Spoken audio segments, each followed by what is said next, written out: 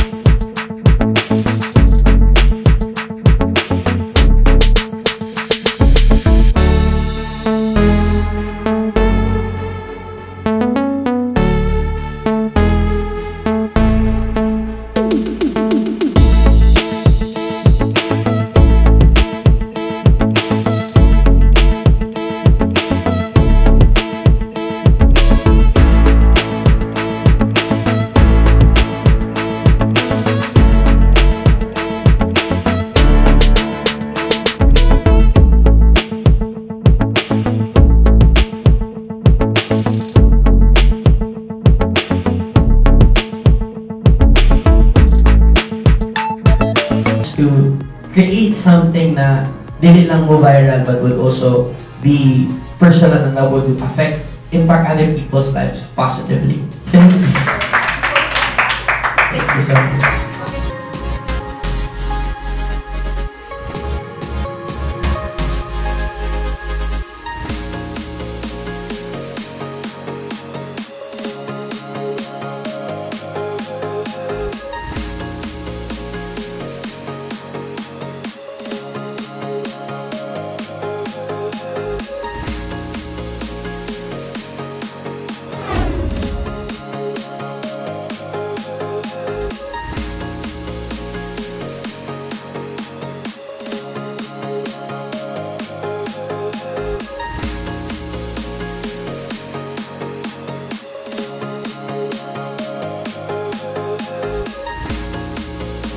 This 19-year-old OPM singer-songwriter and a very proud Cebuano, John gabi, ayan sa Cebu, what's up?